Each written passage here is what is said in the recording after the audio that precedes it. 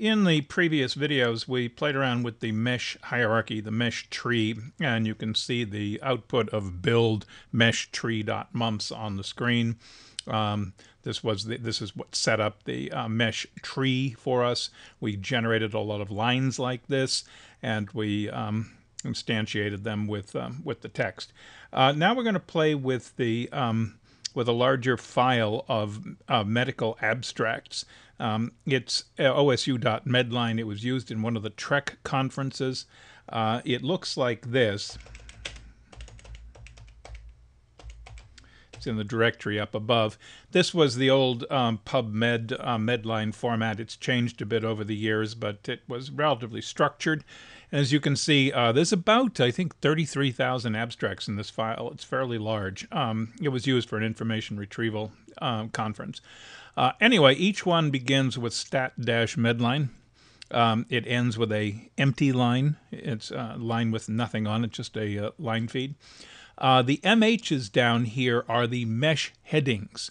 Now, they're not exactly the same as the mesh headings I was using because these are older. Uh, since then, the mesh headings have been updated and they're slightly different. But these were the mesh headings at the time.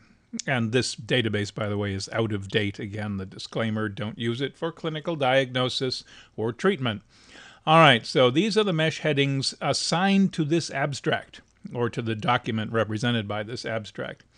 Um, this is the title of the of the document, the binding of acetaldehyde to the active sites of ribonuclease, et cetera, et cetera. It's the title of the document. I have removed here reference material. There is additional material not shown here, which is references back to the original uh, journal um, volume and uh, page number and so forth. They were extraneous, not really useful. They were removed. Otherwise, it looks pretty much the same. These all begin in column 7, by the way. The text all begins in column 7. Then we get the abstract. Starts with AB in columns 1 and 2, and then we get the abstract of the article. Uh, um, and we know what the article is done is when we get a, an empty line. And then the next one starts. Now, in the medical subject headings, I only care about the first word. I don't care about anything that follows the slash. Uh, those were qualifiers. They're not really um, useful now. Um, I don't know what they would even apply to at the moment, but we're not going to look at them. Some of these are not really good mesh headings anymore, um, nonetheless, um, this is what an article looked like. All right, and um, uh, how big was that file? Um, um, whoops, have to go up one. Um, it's a fairly big file, 336 million um, bytes. Um, we're not going to process all of them. All right, the first program is meshindex.mumps, uh, and um, that looks like this. All right, now what it's going to do is, um, first of all, it takes a parameter. There's an extra blank there. Whoops. Um, it, was, it wasn't a blank, it was a tab. All right, doesn't matter. I just was straightening it out so it didn't look jagged. Um, I should have left it alone. Uh, percent sign one is the first uh, parameter passed to one of my programs. Other implementations may use a different scheme. So if if you did pass a parameter, one or more, the first parameter will be percent sign one, percent sign two, percent sign three, and so forth. Percent sign zero is the name of the program. Well, if you don't get a percent sign one, it means a parameter is missing and we halt. All right. Now, this is the open for my version of Mumps. Um, simple, somewhat like the original version of Mumps. We open a unit number, in this case, unit number one. The unit numbers are one, two, three, four. Five is a reserved unit number. Um, it's the console. It's input, output. All the others are either input or output, not both. Um, so I usually use one through four. Um, I can use six through, I think the upper limit on mine is 10, I don't know very seldom you have 10 open files or uh, 9 if you don't count the console. But anyway, it opens unit number one and it opens the file dot dot, which sends me up one level in the directory. It's actually above me in, as I, in the directory structure as I run this. And I open the file OSU medline, comma old. Old means it exists, and it also implies I'm reading it. And if I wrote, had comma new, it means I'm doesn't exist. I'm writing it. And we also have append. Okay, dollar sign test is set by open. If dollar sign test is false, um, we quit because we can't find the file. We switch to unit number one. we kill off any previous instance of the global array MH, capital MH. We set a counter. This is going to be a counter as to how many documents we've processed. Uh, we're not going to process all 33,000. It takes a long time. This is a function in my version of mumps. It tells me where I am in the current file. Uh, it's the it, it, it, corresponds to the C C++ function um, um, tell tell O uh, I think it is now. Uh, it tells you the byte offset of where you currently are. Uh, since I've just opened the file, I'm at the beginning. It's zero. I haven't read anything. Every time you read something or move through the file in one way or another, uh, it resets this pointer. A pointer is reset. You can find out what the value of the pointer is with the, in my version of mumps with the z tell. So it tells me where I am in the file. Uh, at the moment, I'm at the beginning. All right. So now, forever, two blanks, note the two blanks. Switch to unit number one. Well, I was already in unit number one, but I'll need to switch back because the loop below. Read in a line. Quit if dollar sign test is false. If dollar sign test comes back as false, I will quit. Or if x is greater than percent sign 1. Notice the use of parentheses uh, for the second expression. Yeah, because mumps is uh, doesn't have precedence. The operators are, are evaluated left um, to right, except if there are parentheses. So uh, if I didn't have the parentheses, it would be the value of um, it would be not dollar sign test, ORed with the value of x, and then that would be compared with percent sign one, which is not what we want. We want to quit if dollar sign test is false, and therefore not dollar sign test is true, or if x exceeds the value in percent sign 1. In other words, we've processed uh, uh, percent sign 1 uh, number of documents. Okay, so if we don't quit, in other words, we didn't run out of input and we didn't exceed the number of documents uh, that we want to talk about, uh, notice the two blanks after the quit. Quit doesn't take an argument, so you have to have two blanks. We do. We enter the block, and here's the block down here. Um, uh, it, if the line we read is an empty line, that means that it's the end of an abstract.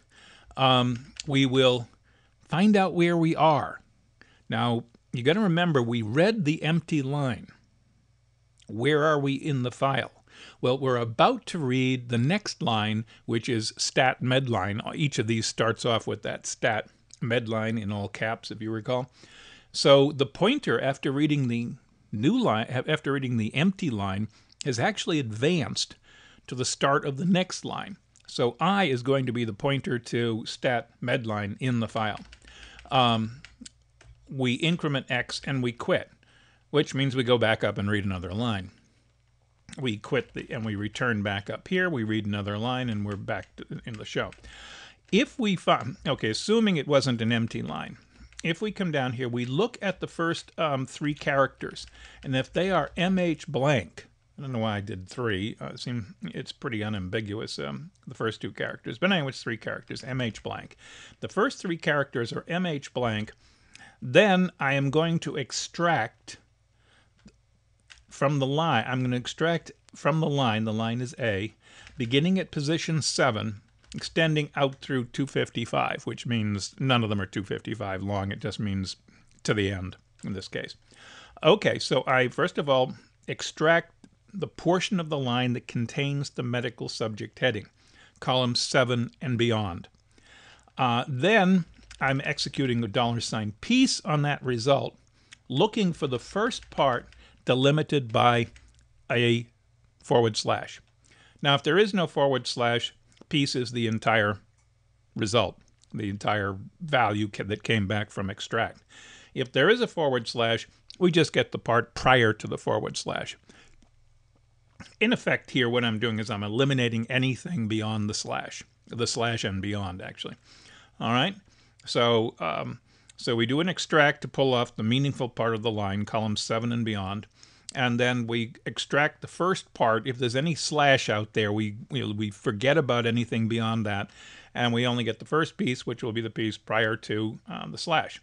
And then we convert it all to lowercase. Uh, that's a function in mine. It's a z function. Uh, they're implemented defined. And uh, that converts the entire string to lowercase. We, for indexing purposes, we don't care about upper and lowercase. We want everything to be one case. Uppercase would work fine, although it would look weird. Lowercase is what we're using. Okay, so we've got now in A, which was originally the line, but now it's the portion of the line uh, that's got the medical subject heading. Uh, what we want to do is find out if this medical subject heading exists. If the global array MH contains an index with A in it. Now, A is one of those topic headings, uh, like myocardium. That's a topic heading. A could be my myocardium. If it exists, what I do is I increment it, all right, which means we've seen one more of them. Uh, we're counting actually the number of times, the number of um, number of number of articles in which um, the, this particular medical subject heading occurs.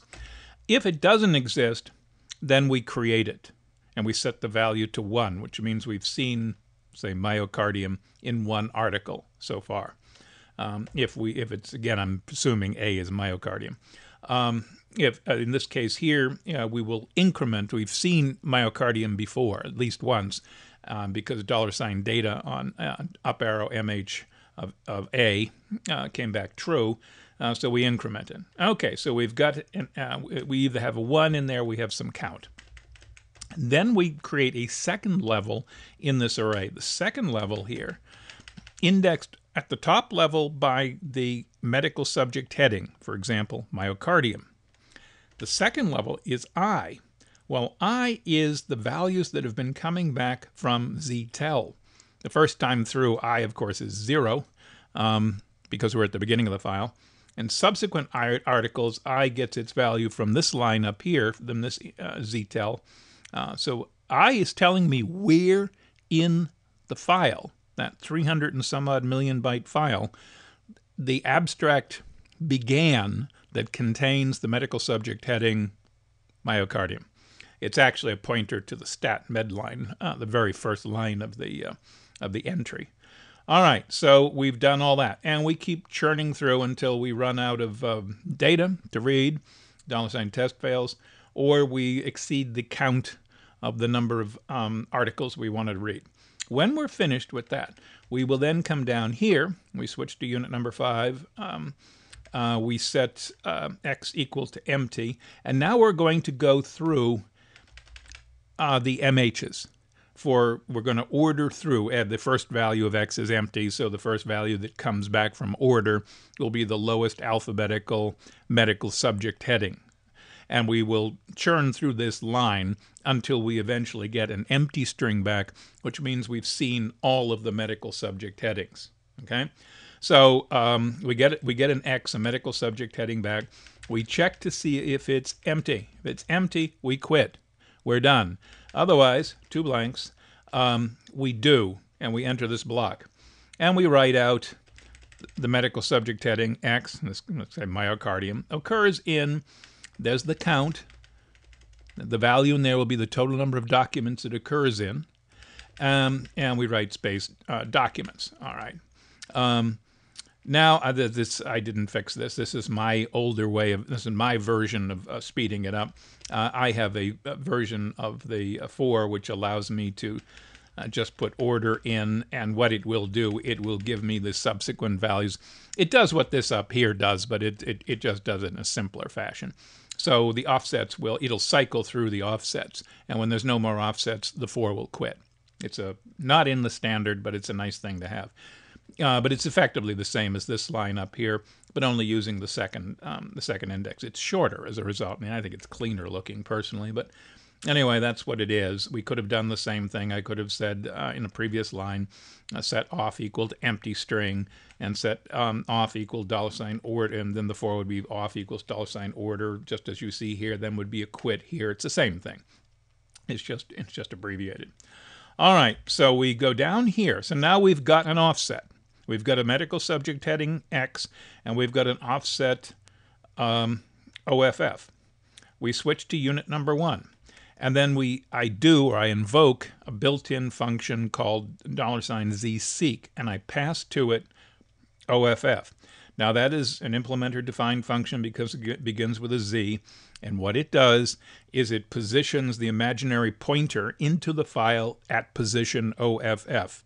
So whatever OFF is, and it's a large number usually, um, the file, the imaginary pointer of the of where we are in the file is advanced to that place in the file. That place, of course, is the start of an abstract. It's the stat med line that starts an abstract entry. So we've positioned ourselves there. You have to switch to the unit before you do it because it's going to, the z seek works on the current unit. Okay, so we've positioned ourselves. Now we're going to do forever. I get a, actually got an extra blank there. Only two are required. We read in A. What are we reading A from? We're reading it from unit number one. Where are we reading it from? At actually the very first time we're reading the stat medline of the entry uh, that contains the medical subject heading that we're interested in. Um, and we asked the question, do you have a TI in the first three columns? We're looking for the title. We're looking for the title on this abstract. And so we do an extract on A, which is the line, and I ask if the first three letters are are um, are TI blank. Uh, if the answer is no, we don't execute anything else in the line. Okay, so it's an if statement, so we do not execute this stuff here if it's not equal to TI. Instead, we go back in and read another line. Uh, so if it's not TI blank at the beginning of the line, we will back out and read another line. We'll keep reading lines until we find a, a line with TI blank in it. Now, every abstract has a TI blank. If it didn't, I'd, if there was a possibility that one of the lines didn't have a title, uh, one of the abstract's uh, entries didn't have a title, I'd have to add more code here, but they all do. Uh, so I'm not worried about that. So anyway, when we do find a TI, we do Okay, the do is the block down here. When we come back from the do, notice the two blanks, we quit. Who does the quit apply to? It applies to the for. So that gets us out of this for loop. And we go back up and look at the next medical subject heading on the line, a couple of lines up. Okay, when we enter the do, you, you, really could put this all in one line, but the line starts getting long. The only reason I have a do there is to make it look a little neater. But these two lines here could be up there in the um, in the previous line if you wanted to. It might be a little more efficient that way. so I switch to unit number five. I indent um, to position number um, uh, to position five. I write out the value of offset, which is my, and I also write, and I skip to position 15 because uh, the offsets vary a little bit in length. Uh, and then I write out um, columns 7 through 80 of the line. The, the, um, the, some of the titles are quite long, and so I really only want to see. I don't want to see the whole title. Um, so I, the titles begin in column seven. The TI is in column one and two. Uh, the co- title actually is in column seven through something. Well, I truncate it 80. If it's shorter than, um, if, it's less than that, it's okay. If it's longer than that, it's truncated. So I write out the line. All right, does it work? I hope so. Um, and uh, let's see, we're going to um, mesh index dot mumps um, and let's say uh, I don't know 3,000 documents. I think I should run it into more. Um, uh, run it to more. Um, so it's going to um, try that. I don't know if the output's going to look like that. It takes a while because after the first part of it, it processes the files. Okay, it's finished processing the first, what was it, 3,000 documents. And here we're getting it. Um, abdomen is one of the subject is one of the subject headings, mesh headings. It occurs in 11 documents. Uh, these are the offsets of those 11 documents. Those are the offsets into the file, which is only of you know intellectual interest. Doesn't really tell me anything. Uh, well, it tells me where it is, but doesn't mean anything to me. Um, the, the program, of course, used it in order to get out there. So the first one is indium uh, dash 111, leukocyte scanning of the abdomen, analysis the value. you See there, it's truncated. The title is chopped at um, actually 73 characters. Uh, 7 through 80, so I guess that's 73. Um, anyway, you can see um, abdomen acute, abdom- abdominal injuries, um, abdominal neoplasms, and so forth and so on. So, um, spacing on, you can see it's um, adenocarcinoma apparently was a really popular one. Uh, I, hitting enter uh, space uh, advances one line, hitting spacebar advances to page. So adenocarcinoma was in there 30 times. So, um, wow, what that? What was that one? Um, this one's got a lot. Adolescence. Well, 351 documents. Um, yeah, adolescence is a, probably a fairly common term. Anyway, without worrying about it, um, those are the documents indexed by basic mesh headings, the mesh headings that were contained in the original documents. All right, I'll call it quits for this one.